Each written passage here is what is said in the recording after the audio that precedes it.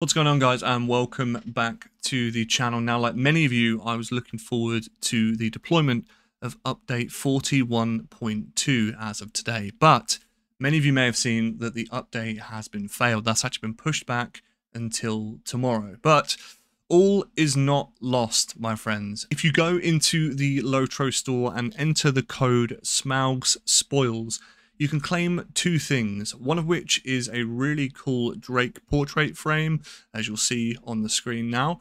And secondly, which is probably more important, you get a free cosmetic pet in the form of a golden drakeling, which will follow you around, jump off of the floor, fly around, and just make your day generally a little bit better. So I didn't want to make this video particularly long for any particular reason, but to those of you that are having a uh, a bit of a downer on the fact that the update has, has been, well, ultimately failed to be applied, don't worry, put the code in, enjoy some of that, because I see some of the people asking about it in game chat. Not many people seem to know about it.